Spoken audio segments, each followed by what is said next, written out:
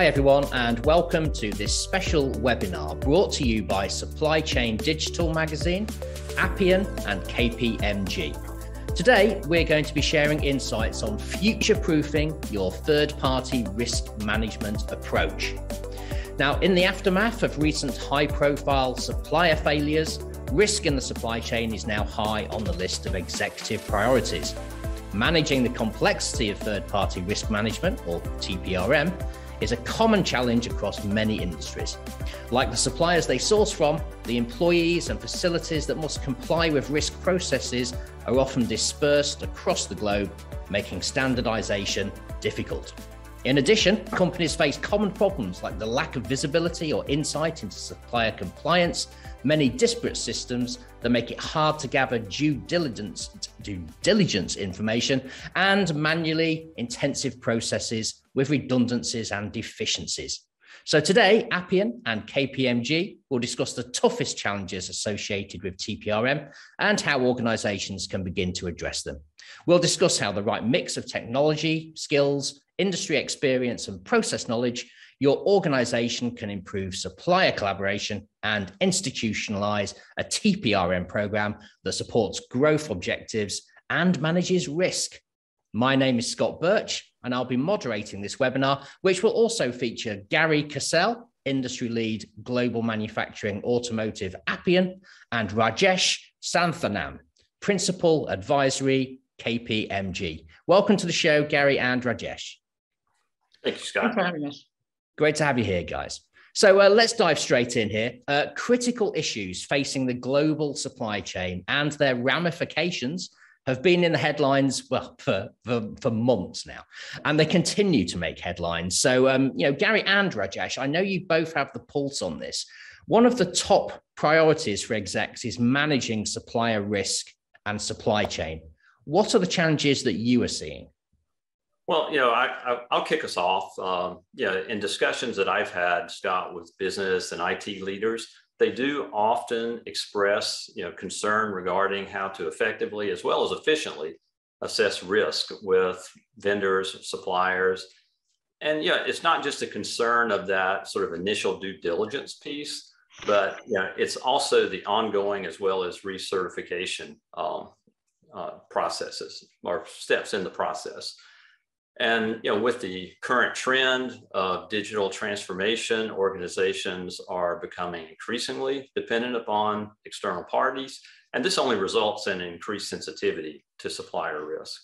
And on top of that, of course, the expanding, or you could say ever expanding supply base is adding to the complexity of organization supply chains. And you know, third party risk management involves so many different stakeholders. And in some cases, often they own or co-own, you know, steps in the process. So, you know, the approach that I've seen a lot of organizations adopt it, uh, to managing supplier risk or third-party risk is very labor intensive, as you said, inefficient, and can lead to inconsistent results in the in the process. And in a large number of organizations, it's also, you know, with, with these manual processes, it's also not well understood you know, which functions own what steps, you know, throughout the process. You mentioned lack of visibility. I mean, this creates challenges at multiple levels in an organization.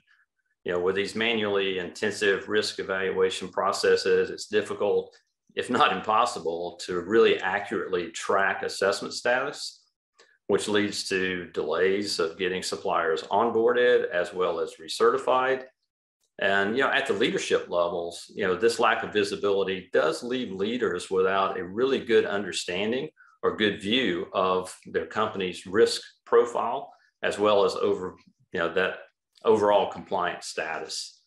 And another challenge, you mentioned it again, you know, sort of those disparate systems, the, the whole data gathering process, having siloed systems uh, as well as siloed processes makes aggregating all the information or data needed to ensure a robust due diligence as well as risk monitoring process really difficult. And then any of those follow-up actions that come out of that process, you know, these, what I've seen is for the most part, these are managed with manual processes also, which again leads to inconsistencies, can lead to gaps in the process, And this can leave organizations vulnerable, you know, to risk that can result in loss, whether that be revenue, customer, or reputational loss. So lots of challenges out there. yeah. yeah. So, I, was going to say, I was going to say, does uh, does Rajesh have have anything to add? I mean, that list of challenges yeah, think, is quite I daunting. you, you, hit you hit up on all of the uh, the key points there. I, w- I would also add to that, right? I mean, it's it's if you look at any large compliance, any large organization compliance process, right? It, um, you need to it needs to be robust enough, right? And third party risk is one of those starting points. Um, it's not mandated, it's not regulated, but if you have a large uh, efficient compliance program, you know, you need to have this as in your arsenal, right? This is important. This is almost like a step zero, step one, you know, to your compliance process, right? So in addition to everything Gary just said, uh, we're seeing these challenges across global organizations eh, where reporting is, you know, another issue that, hey, all right, you may be doing all this stuff, right? But if you get audited or if you get, you know, we're asked for, hey, how are we doing on these things, right? It's not easy to get reporting on this either because again it's manual it's it's labor intensive it's sitting in email it's sitting in excel document somewhere and if you're getting ready for an audit of some sort you know that's a massive effort right and um, that that creates a lot of issues to add to all this right i mean we've got a, a challenge you know we did a um, we did a survey back in 2020 um, you mentioned it's a, it's a priority but you know 50% or more said they don't have enough sufficient in-house capabilities to manage these risks, right? So A, it's more intensive. B, you don't have the labor to support it, right? And 75, 74% said that they need to make this a more consistent process, right? So everyone does it a little bit differently. Um, everyone has their own needs, but even within organizations, depending on where you talk to, who you talk to, it's, you know, which which part of the global forum you're talking to, you know, it's very different, right? So all these add to sort of the complexity of how to manage this and, you know, uh, trying to get all this together for a large organization is is hard to do. And, like I said, you know, it creates a whole bunch of challenges uh, for the, for the initial step, not to mention like all the things that have to flow down this flow down the pipe from there to procurement and to manage them ongoing. Yeah, I mean, like you say, it's it's a very complex um, picture, which is obviously you know why we're here today.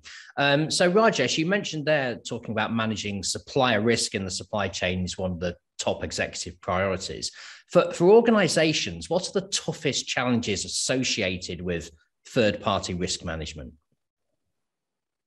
Um, from a tough, you know, uh, I would say just getting gathering all the information, and making sure that um, you know your supplier risk, who they're doing, who you're doing business with, um, you know what their organization structure is, you know what their you know financial backing might be, right? So doing that due diligence to say, do I know who I'm doing business with, is becoming more important, right?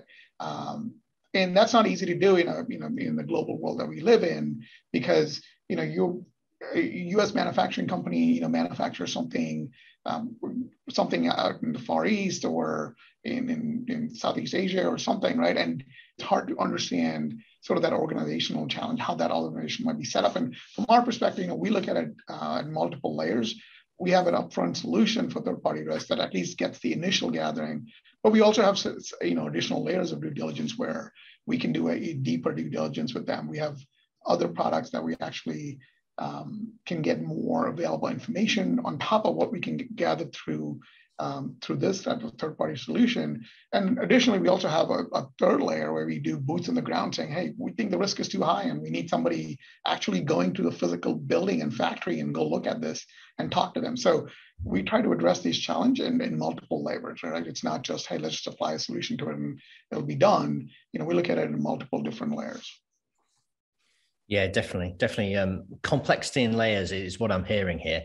Um, now, Gary, I'm going to turn back to you here. What are organisations doing, and, and I suppose importantly, not doing, to manage the complexity of third-party risk management? Um, and even more importantly, are they being successful? Yeah, great question. All varied, right? Hmm. Um, yeah, and in regards to you know the supply chain, right, with diversity of supply now an increased focus you know, companies are, you know, evaluating how to better manage that risk of critical material. So trying to narrow down, at least to some degree, how much they can take on. Uh, and, and manage from you know, their supply base. And one example of what I've seen organizations doing is, yeah, the, and and this is uh, along the process of actually procuring material. I, have seen them do some of the the near shoring to avoid disruptions that may come with shipping delays or could be other geographical issues that cause delays, could be capacity constraints, as an example. But you know, when evaluating, again, you get into the third party risk management or evaluation of this. When evaluating moving that supply to regional or a near uh, supplier, you still have to you know assess sort of am I taking all again an all eggs in one basket where I'm sourcing critical supply from from one supplier that still adds risk even if it's a, a near shore supplier. So I've seen some companies try to um, you know, mitigate this by near shoring a percentage of, let's say, a critical um, component they, they get from their supply base, and then continuing to you know, use the multi-source um, uh, approach of continuing to get some percentage or the remaining percent from what could be an international supplier. Um, and then I've seen some actually say, hey, let's raise our safety stock levels. And this really, it can be effective, but it's a cost. And it can, in lots of cases, it may not be effective because what happens in those instances is now you're introducing that risk of pushing up against or surpassing a supplier's capacity. Um, because you know, in a lot of cases, especially as you go deep into the tiers of suppliers, it's not just one organization that is taking some of these approaches. So it puts a lot of pressure on, on the supply base. And so it can be a very ineffective approach. Now, from the perspective of not doing, you know, I actually, I think, you know, just research I have read really kind of shows that, and, and there was one really interesting analyst article that uh, a number of legal and compliance leaders were interviewed. And what it really showed in regards to risk management was that the majority of those interviewed, I mean, overwhelming majority of those interviewed, were really using a point in time uh, focused approach to manage risk. So about 73 to 74% of their overall effort in risk management was all about the due diligence to onboard and then to recertify. What was really missed in that process, which kind of came out, was the, the small amount of effort that was actually in monitoring the risk on, you know, let's say the, the full part of the relationship. So the time between onboarding to the time of recertification, which can be quite, you know, a large amount of time. And it leaves you really vulnerable to what's happening day to day if there are some triggers that, you know, an event occurs, a relationship changes, and you don't have visibility to that, you know, that change in relationship until you get to that recertification timing, which can really leave you uh, quite vulnerable, um, again, to you know a loss due to that risk. Okay, so Gary, so what's your approach to helping companies with TPRM? So you know, just expanding on my point earlier, right? So we've got a multi-layered approach, right? At the um, we attack, you know, we've got a lot of business capability around helping organizations manage risk compliance. Um, so we work closely uh, with, with our business, business team on the compliance side, right? But we also, you know, with my background in technology, we've built, we built a solution uh, that, you know, is built on Appian, right? And we built a solution that, that usually sits in uh, the initial step, it sits in the front of your compliance program. And as you're onboarding these third parties, or even if you onboarded them, you're, you know, mature organization, you're working with hundreds of third parties, you know, we, you know, the solution helps you sort of gather all that information and go through the process of uh, manage understanding what your risk is and managing them going forward like you know gary mentioned recertification and and sort of that, that ongoing process right? So essentially we, we've addressed the, the five challenges that we had talked about earlier of, of having take, taking the manual complexity out of it you know creating more visibility and transparency into the process reducing that time and effort, right? And given that the data might be in multiple systems, you know, we, we, we create that integration. So again, you're getting the single pane of glass view into everything and creates this sort of global approach, global consistent approach, um, and creates the reporting that senior management or leadership needs to say, hey, you know, if we if somebody needs to tell me how are we doing with our 100 vendors today, it's just as simple as going to a dashboard and, and clicking on a report that tells me where we are and you know what our risk profile might be, right? So that significantly changes you know what your back office organization needs to do and needs to be structured with, and that frees up you know all that manually intensive manual intensive labor to do more high value type work, right? And essentially, we're, we're able to do this because we're built the our applications are built on um, the Appian platform. Uh, you know. Um, that's sort of our initial approach to it. But like I said, the, the ongoing approach is that the, the output of the output of the solution can be then leveraged in multiple ways. You can decide to say, hey, I, I understand what my risk is. With this particular vendor, I'm good to move forward. And another action item could be, I need to do some more due diligence. I can hire somebody to do the work. That second level of diligence that, you know, goes and looks at their financial statements or organization detail or whatever the case might be, where the risk might be, right?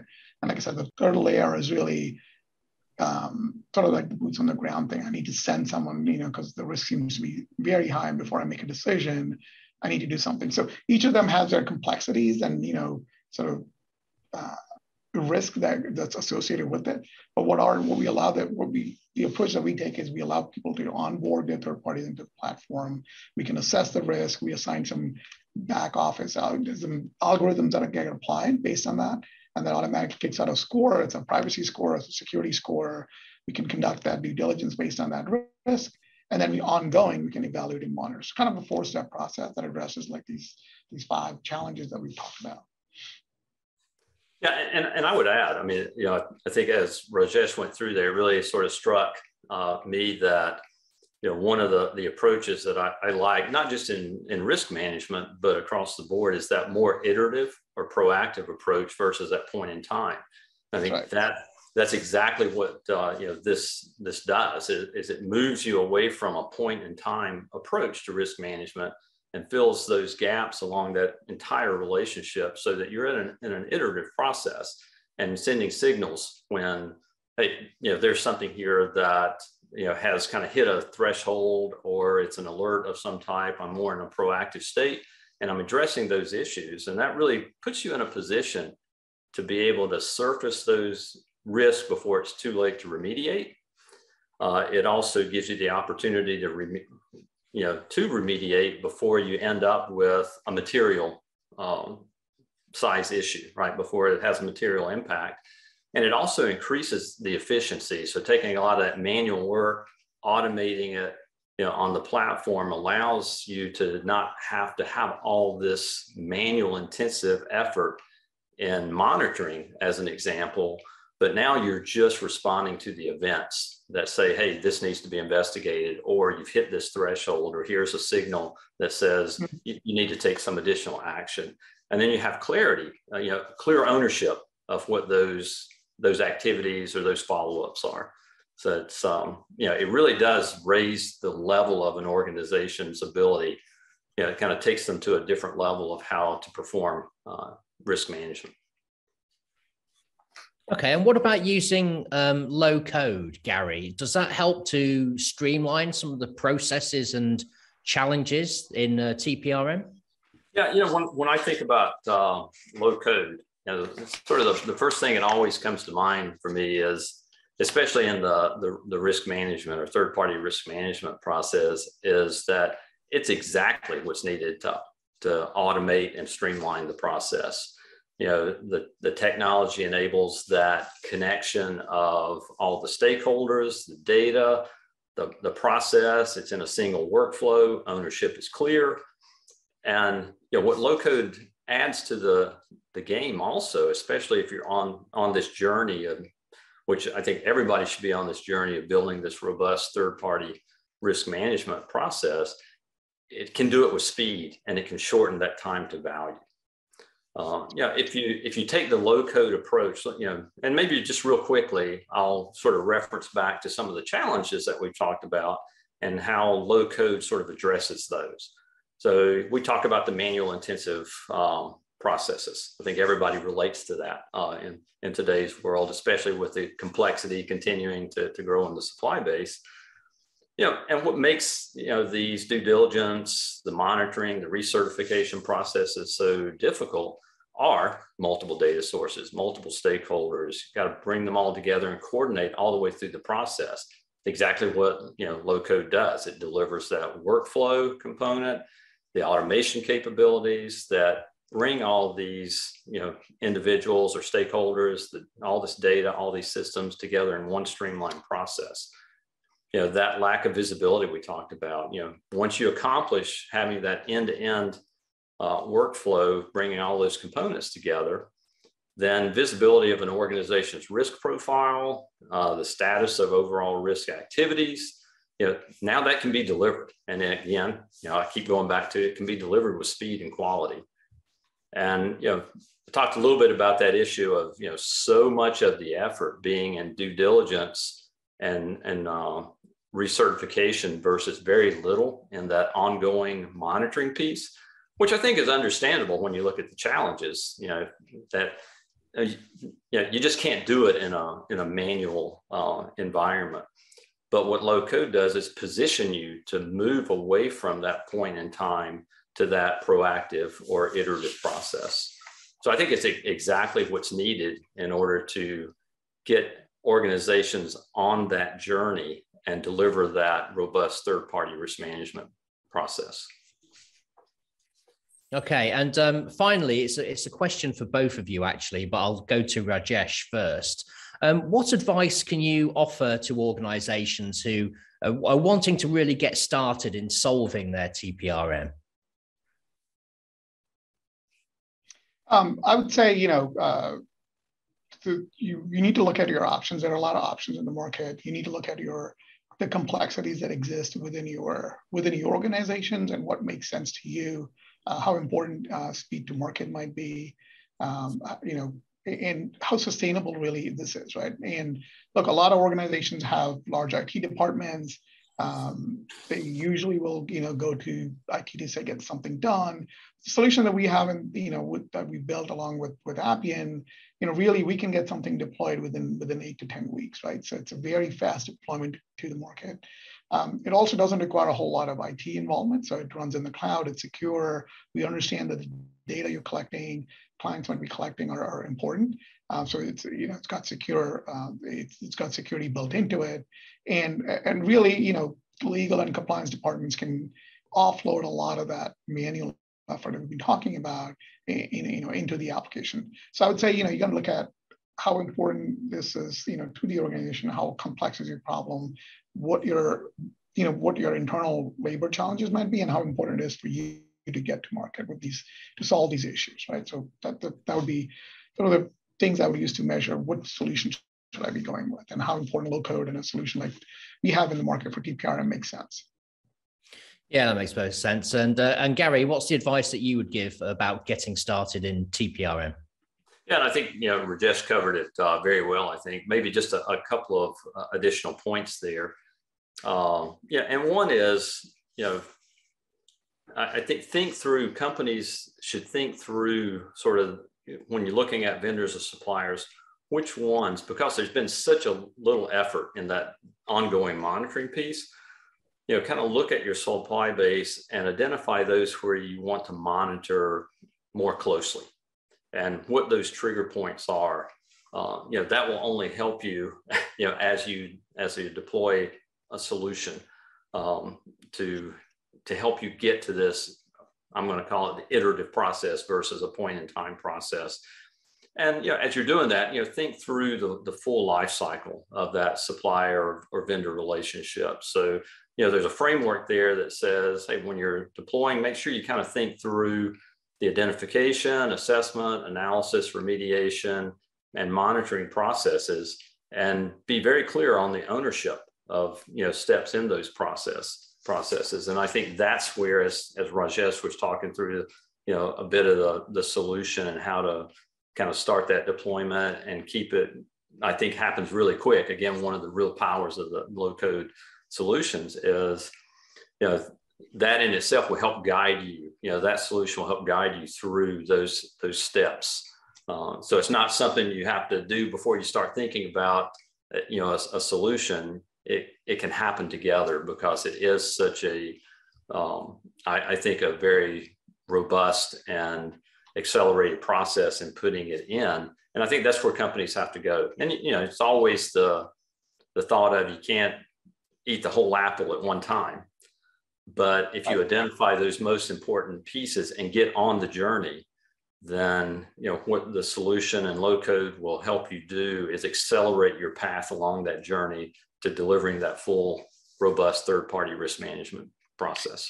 Yeah and gary if i could just jump in there right? I mean you know the reason we can do these things at speed you know obviously with the appian low code platform is you know we um, we have a base process right? So we understand how risk, risk management should work.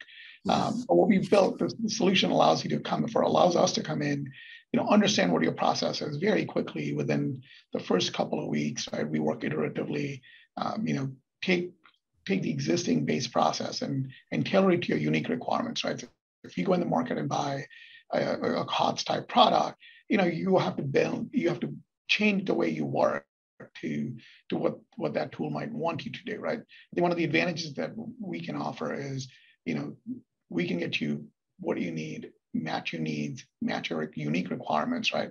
And sort of get you to um, to compliances, you know, faster than probably you would with some, something else. So that's one of the big advantages we see with the solution and the platform that we have.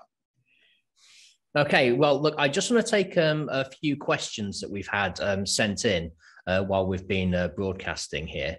Um, right. There's one question here, um, and um, oh, this is relating to low code actually. It says you've mentioned using low code with the TPRM solution. How long does it take for this kind of solution to be implemented, and what should I expect? Um, who wants to take that? I can start with it, and maybe Gary, you can add on, right? But um, so with, when we've implemented these solutions, right? So it depends on the complexity of what do you want to do. Like I mentioned, we've got a base solution. We can get that deployed and you know we can make sure it's branded, colored the way you want it, right? And has your processes and your risk um, risk tolerances coded into it. Typically takes about, like I said, eight to 10 weeks. Um, you know, so with, with some of our some of our clients, we've done it in, you know, 10 weeks. Some of them have taken 16 weeks, right? It just depends on the complexity of it. But, but even if you think about that in the grand scheme of things, you know, that's a fully functional solution that you're getting that's in production in that period of time, right? And um, when you do have changes, um, and you know, every every product does, um, as you as you use it, you think, hey, I want to make this tweak, I want to make that tweak. Those tweaks are made in in days, sometimes in hours um, in not weeks and months, right? So that's one of the huge advantages of working with the solution that we have that's built on sort of the Appian platform. Terry?